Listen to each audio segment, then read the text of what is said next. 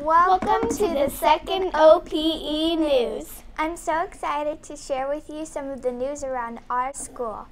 Every episode, we like to start off our show with a joke or trivia question. Over to you, Sarah, to tell us the trivia question of the week. The trivia question of the week is When did OPE open? Stay tuned till the end of our broadcast to find out the answer.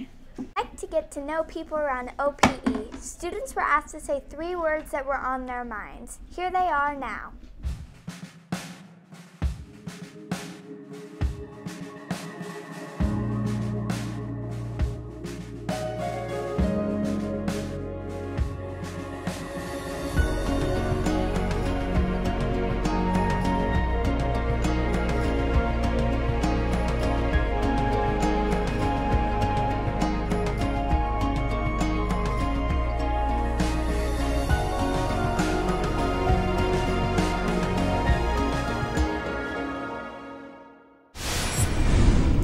The Student Council helps make decisions that make our school a better place, and now they're helping raise money for koalas and other animals. Now over to Charlie for more information on the San Diego Zoo's Global Australian Wildlife Relief. I'm here with Matt, who raised $100 for the animals in Australia. Why did you do it? Because I don't want the animals in Australia to get extinct. Thank you.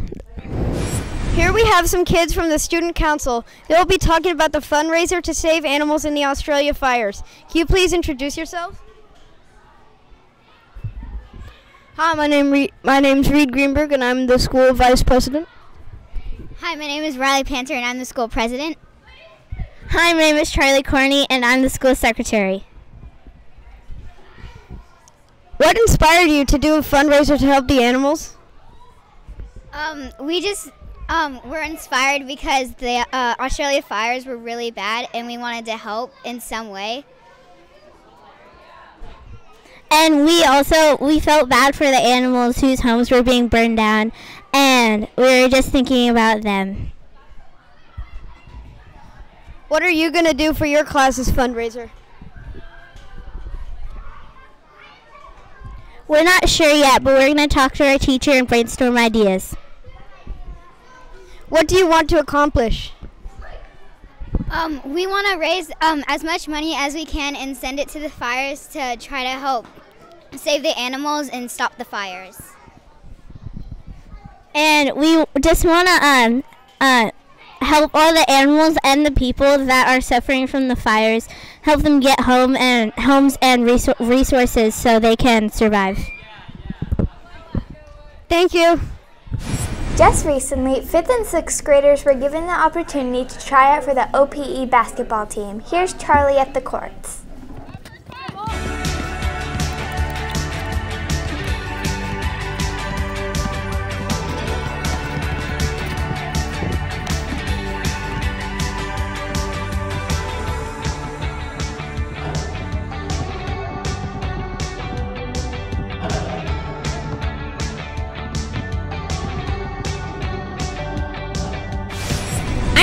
Here with Lane at the OP basketball tryouts. Why do you want to make the team? Because I really love basketball and I think it would be fun to be on the team. It's very obvious that everyone wants to make the, the team. I hope you make the team. Last but not least is Ty. Why do you want to make the team? Uh, I like basketball. It's fun, and I just want to be a part of a team. Well, I really hope you make the team. The Kindness Club is so helpful to our school. They make sure that everyone stays kind and helps others. Now over to Charlie telling us about the weekly kindness challenge. Hello, and I'm here with the Kindness crew. I'm Colette. I'm June. I'm Riley. I'm Lucy. I'm Hannah. And I'm Jordy. And, we're, we're the the members of the Kindness Crew. Starting this week, we will have a weekly kindness challenge. This week's kindness challenge is say good morning to 15 people. Thank you, and remember to stay kind. Thank you for telling us about our weekly kindness challenge. Every episode, we will do a staff spotlight. The purpose is so that we get to know our teachers and other staff. Here's Vince with Miss Estel now. Here we have Miss Estel, our second staff spotlight, and I'm going to be asking some questions to her. What inspired you to be a teacher? Let's see. Well, at a young age, I, I always liked being around children. I started babysitting when I was 11 or 12. Uh, later on, uh, when I started college, I had to pick a major, and I thought it would be something working with children. So originally, I thought about being a pediatric physical therapist. My aunt was one. Uh, then I changed to um, teaching program, I guess it, it's called.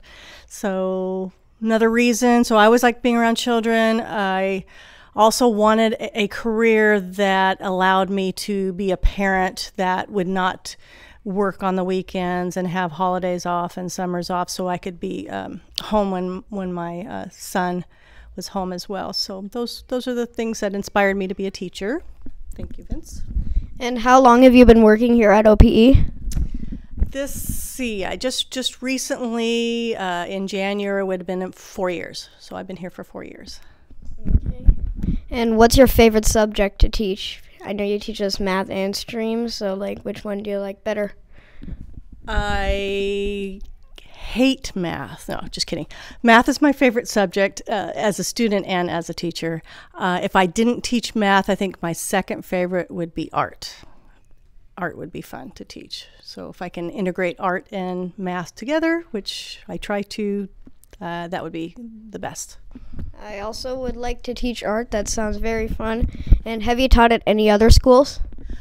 I did teach before I came here. I moved, I lived up north, so I was in uh, Bakersfield in Kern County, Northern California. I worked there for 15 years and I taught grades four, five, uh, fourth, fifth, first, and second. So those were the grade levels that I taught.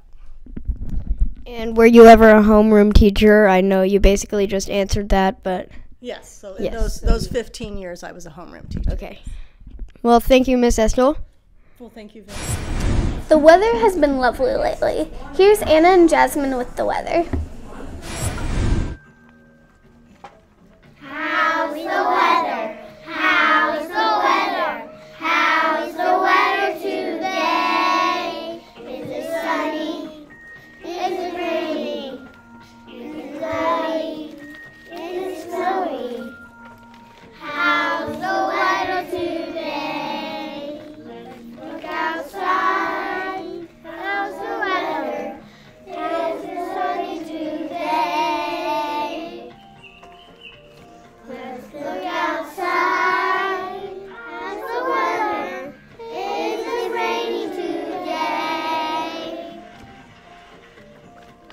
Look outside.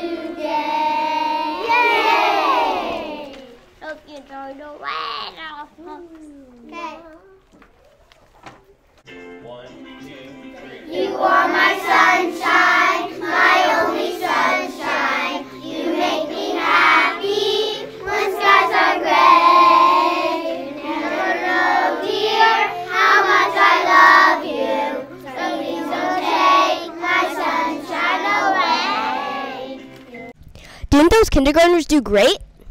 Recently, Groundhog's Day happened. It looks like we're in luck because Mr. Phil failed to find his shadow. That means early spring, here we come. Miss Clark's class did a reader's leader about Groundhog's Day. We, and we have some clips from it we'd love to show you. Emma knows she's farther away from the barometer than ever, and now poking his head out of the ground, right in their way, is a groundhog. Peter Piper picked a peck. Excuse me? Peter Piper picked a peck. He did a peck of what? Peter Piper picked the of pickled peppers. Wow, that's very hard to say. You're very good at tongue twisters. Thank you. It's a gift. And I have lots of time to practice. I spend most of the winter underground. There's not much else to do there. Underground? What are you? Promise you won't get mad? Of course we will. I'm a groundhog. A groundhog? I hate groundhogs! See? Man, it's your fault winter came so late this year. It's not. People are always picking on me whenever I stick my head up on a nice day in February. Everyone yells at me.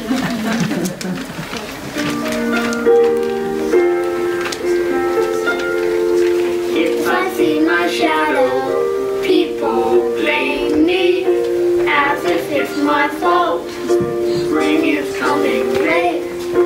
It's an awful lot of want to hibernate.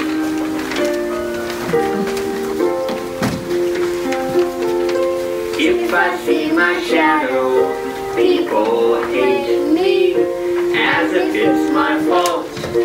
Winter's hanging on. Next year I'll stay in my bed till June when everybody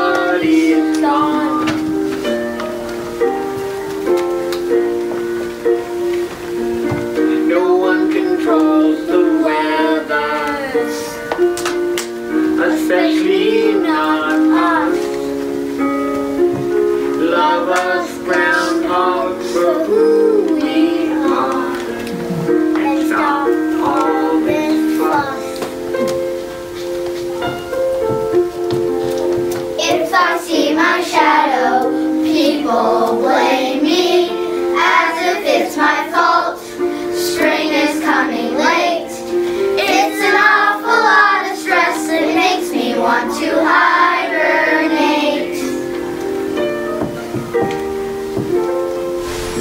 Now for your weather. On Saturday, it looks like it's going to be a sunny day with a high of 76 degrees and a low of 39 degrees. On Sunday, it's going to be partly cloudy with only a 10% chance of rain. The high is going to be 84 degrees and the low will be 34 degrees. I'm Jasmine, and that's your weekend weather report.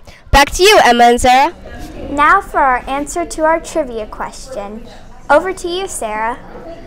Time for the answer to the pressing trivia question. When did OPE open? The answer is 1994. In 1994, Mrs. Emily Andrade became the first principal. Mr. Weber, Miss Warburton, and Mrs. Gilroy were a few of our original staff members who helped open the school.